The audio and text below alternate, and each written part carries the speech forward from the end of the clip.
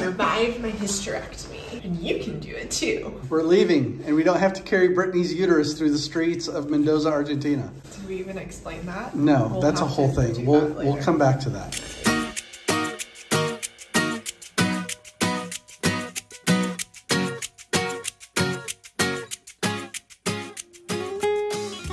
If this is your first time here, we're Eric and Brittany Highland, and along with our seven year old son Caspian, we're attempting to drive around the entire world in our home, a 2021 Jeep Gladiator we call Dauntless. Our goal at Hourless Life is to give you a first person point of view so that you feel like you're actually with us on this incredible journey. So if you haven't yet, hit the subscribe button. We'd love to take you around the world with us.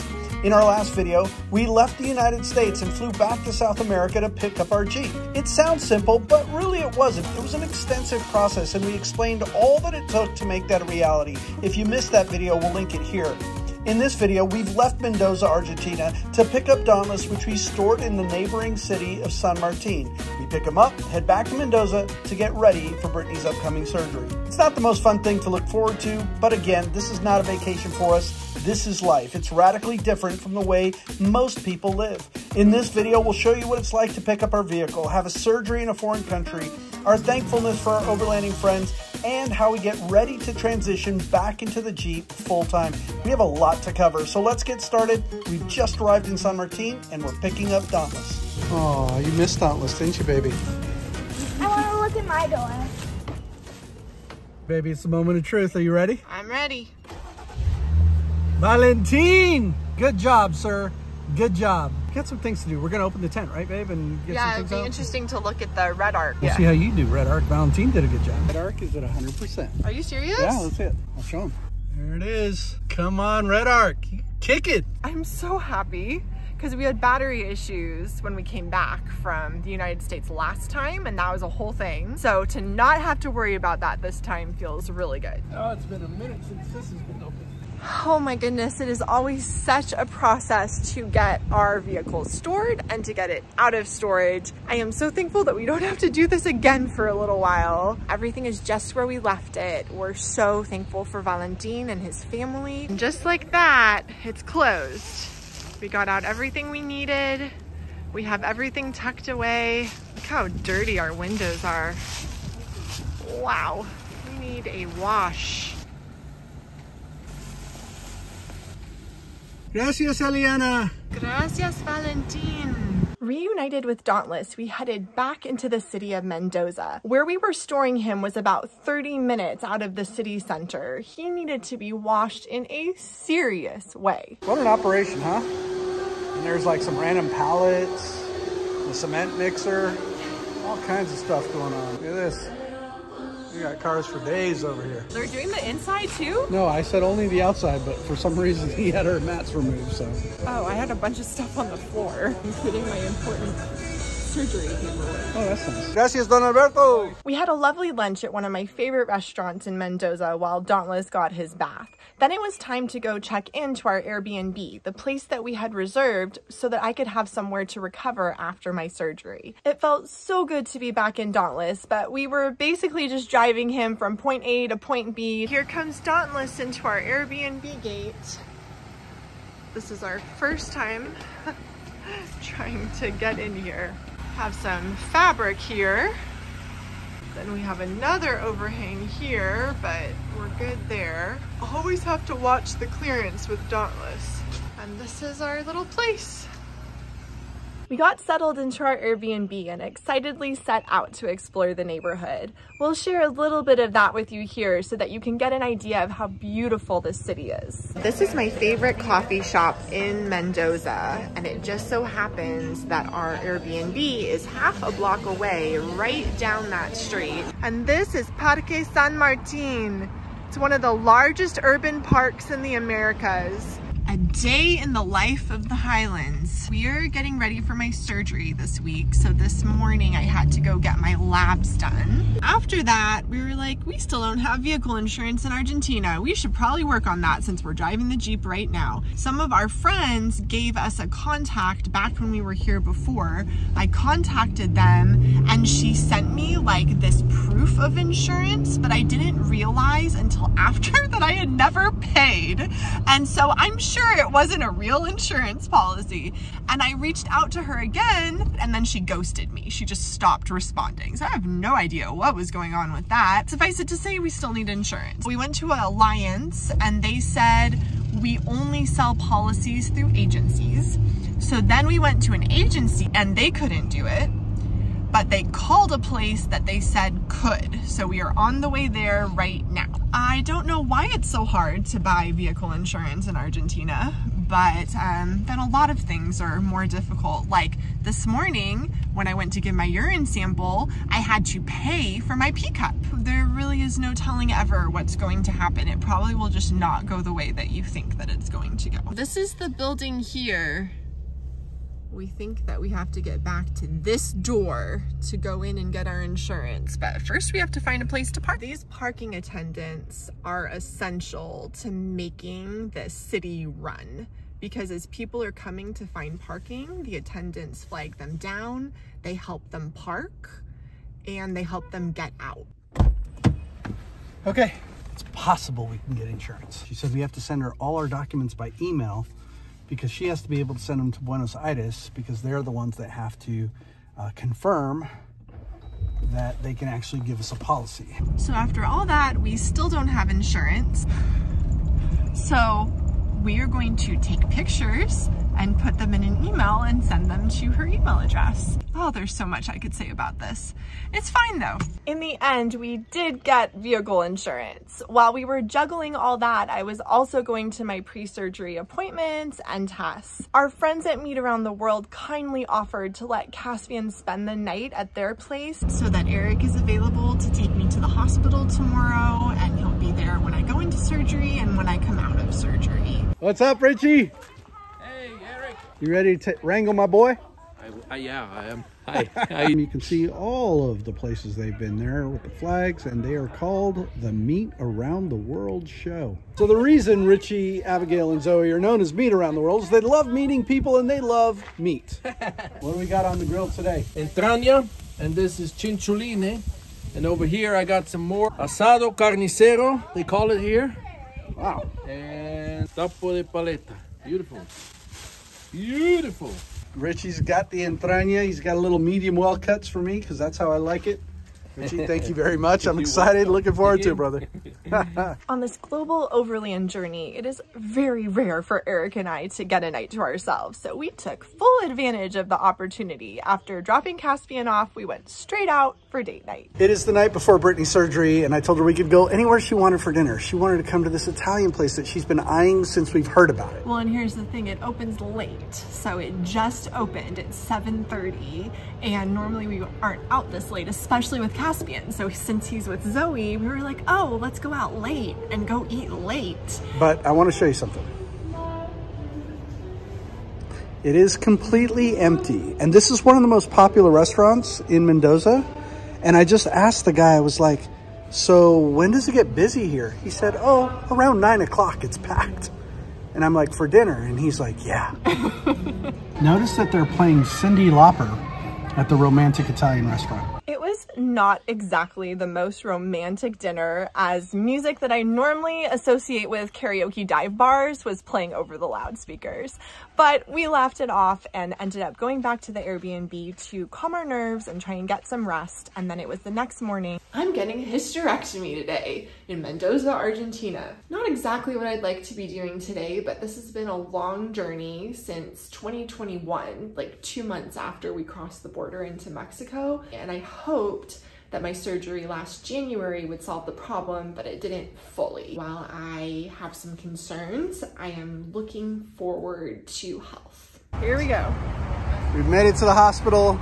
We just had a really cool Uber driver who actually prayed for Brittany, which is kind of nice. They took Brittany back at 1046 local time. Surgery's supposed to start at 11, be done by 1 o'clock. If all goes well, Brittany will be back here in the room, I'm guessing sometime between 1 and 1.30. I'm by myself, just working on our next YouTube video, trying to keep my mind off things. Thinking about my bride, praying for her, and um, hopefully all goes well. My surgical team was completely capable and professional. The nurses were so kind. Everyone was trying to speak English to me as I was going into surgery. It was pretty funny and we were all laughing. The situation after my surgery, after I was in my room, was not quite as professional, not quite as great.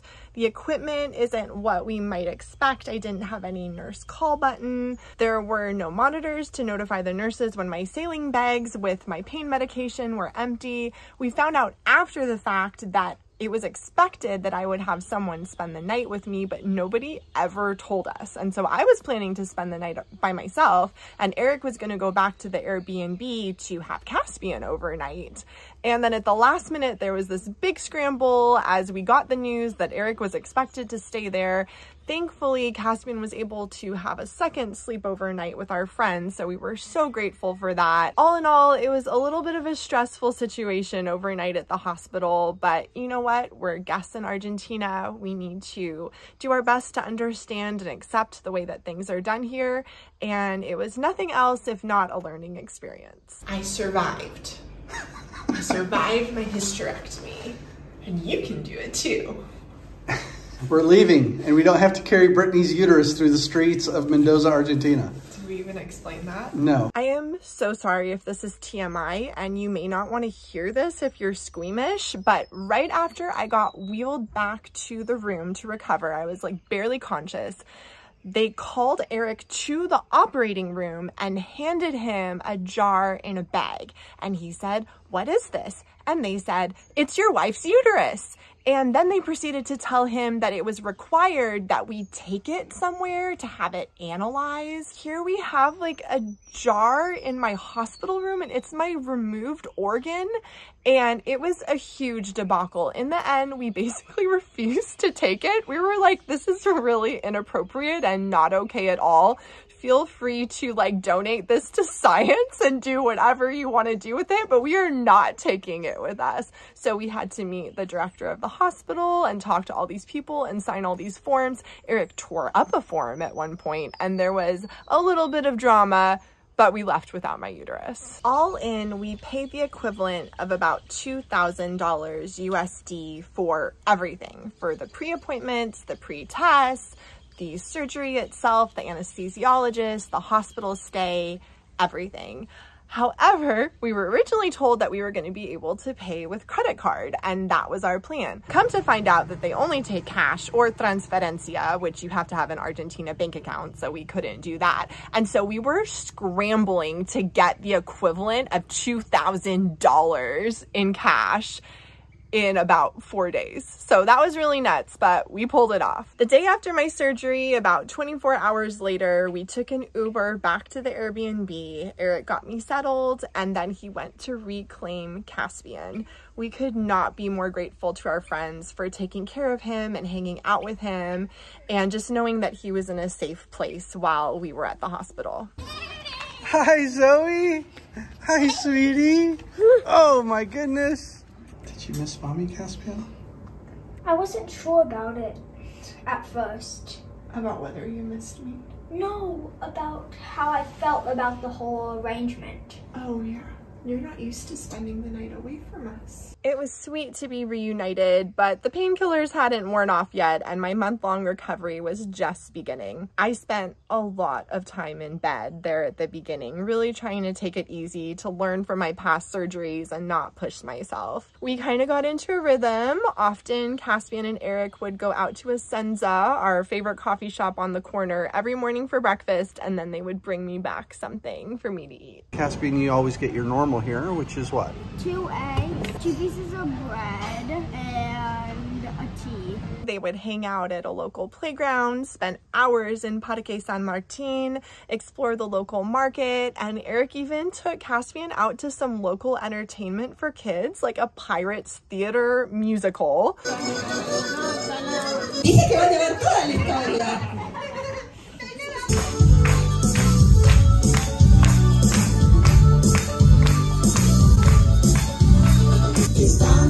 Caspian had the best time there. They also went to a local film museum, which was really entertaining and educational. Whoa, look at that. Wow. 19th century filmmaking. We're learning how movies were made way back in the day, taking us through century by century.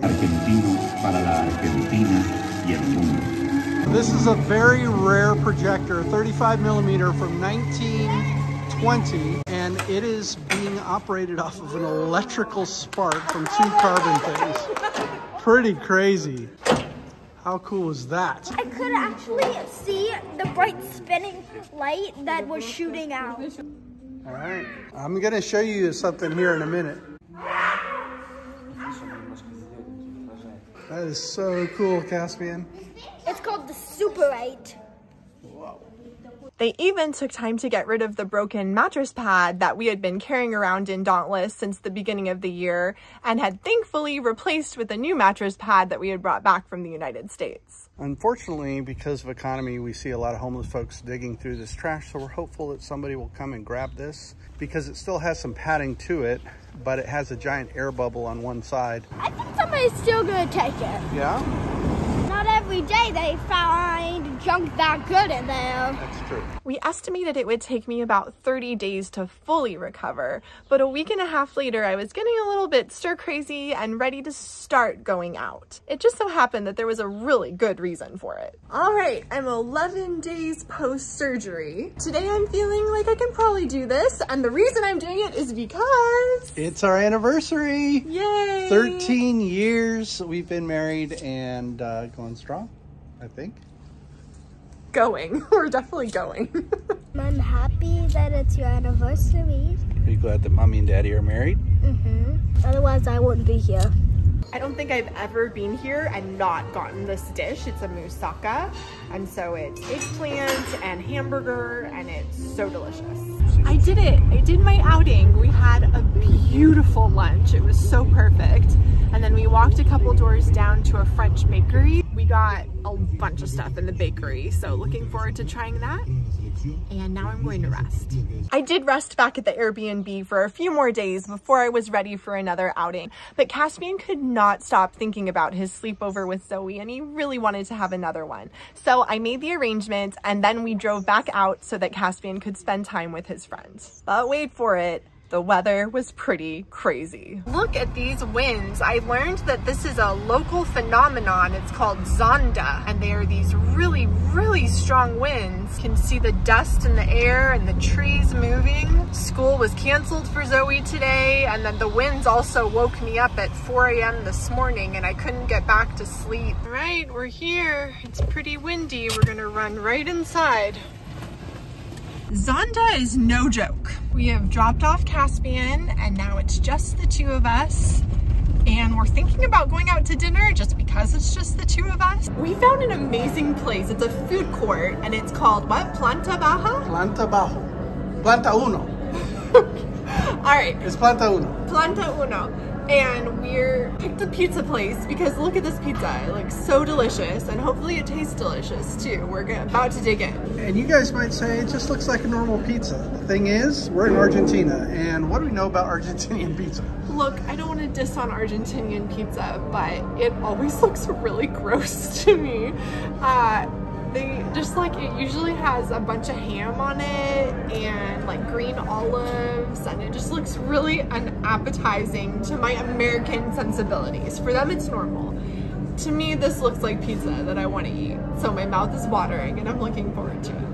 Our time in Mendoza was rapidly coming to a close and we were dreading parting from our good friends. We knew we were going to miss them so much. As soon as I felt well enough, we invited them over so that we could share a meal together. Secretly, Eric was really hoping that Richie would teach him how to do a proper Argentinian asado. All right, well, first off, we're gonna make a beautiful fire and um, have a drink.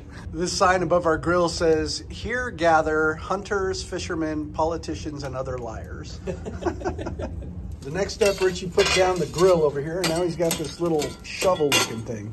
What are you doing with that? The coals, yeah, the hot coals. And we'll get a few over there. Heat up the grill, and once the temperature is right, we start grilling. Always maintain a fire on one side so we can always get more coals as we need. And I crack open another beer. All right, what do we got today, Richie? Ribs, right? Costillas. Beautiful, beautiful cut. Love it. Sausages, arañitas, the butcher's cut, my favorite. Beautiful, beautiful meat. Tapa de paleta. Here we go. Tri-tip. Si hay algo que sobre el otro día, eso hace mejor roast beef. That's a Swiss German speaking Spanish in Argentina. You guys got to be impressed with that. now, what I want you to notice is that he only brought one seasoning. Pure salt, sea salt. That's all it takes. A good cut of meat doesn't need anything else. And that's the Argentinian way anyway, but if the meat is good, what else would you want on your meat? You want to taste the meat. And don't be shy. There we go. We like it colorful. Nothing like grilled onions, and I like them dark and black. It is on the charcoal. What the heck is going on, Richie? Well, we're gonna give it some extra flavor and sear. Just have a little appetizer. Let's here. do it. All right, here we go. Okay, this video is going off because I'm about to eat. Caspian, what the heck is going on here? I'm getting my face painted. I only have red, so a, a red cat. What are you going to do, Zoe? I'm having that one. Caspian is having that one. I was just thinking about you. I'm out there getting taken to school, Brittany. I know, and sorry the washing machine is so loud in here, but I invited Abigail to bring some laundry over and put it in, because Overlander life. I was just thinking that today is like coming back to life after being down and out for so long. We are coming up on almost dinner time. You can see how beautiful this looks. I can't wait. I'm hungry. Look at you, kitty cat! Meow. Look at that. Holy smokes, you guys. Holy smokes. We are eating like kings. All Alrighty, here we oh go. Goodness.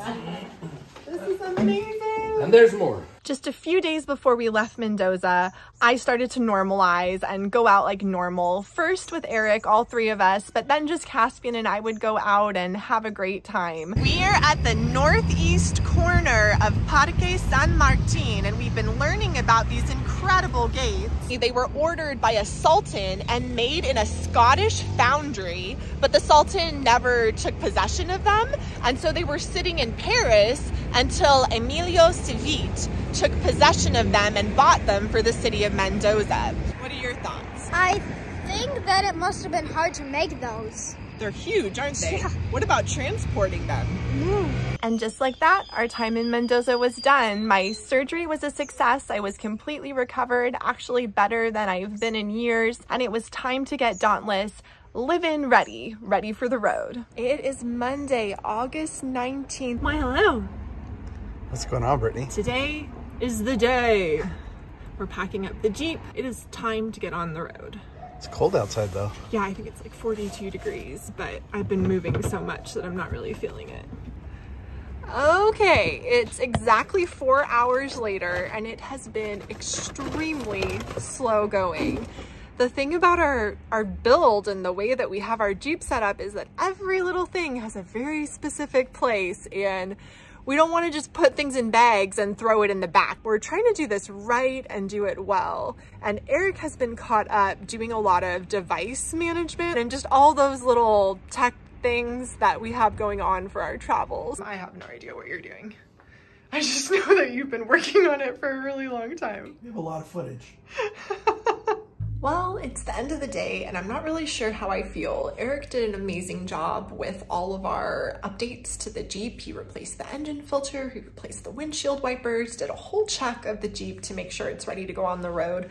I put away a lot of stuff and yet looking around me, there's still a lot of stuff here. So I think in the end, I am gonna end up just shoving things in at the last minute. I am just so ready to get on the road. In our next video, we invite you to hop into Dauntless with us and head across the continent of South America from Mendoza to Buenos Aires, the capital of Argentina. If you enjoyed this video, please take a moment to give it a like right now, subscribe to our channel, and if you haven't already the bell icon, go ahead and do that. It'll give you notifications whenever we have a new video go up. And if you really want to get to know us with an uncensored, transparent view into what this journey around the world is like, then please join us on our Patreon. If you enjoy what we share here on YouTube, then I think you'll really like what you see over there. We have a lot of fun with our patrons who have really become our close community. We give early access to our YouTube videos, share exclusive live video from where we are, and answer every behind the scenes questions that our patrons have. So head to the Patreon link in the description of this video. It costs you nothing to take a look and we'd really appreciate it. We hope you enjoyed this section of our journey around the world and we appreciate you for being part of it. Until next time, we'll see you in the next video.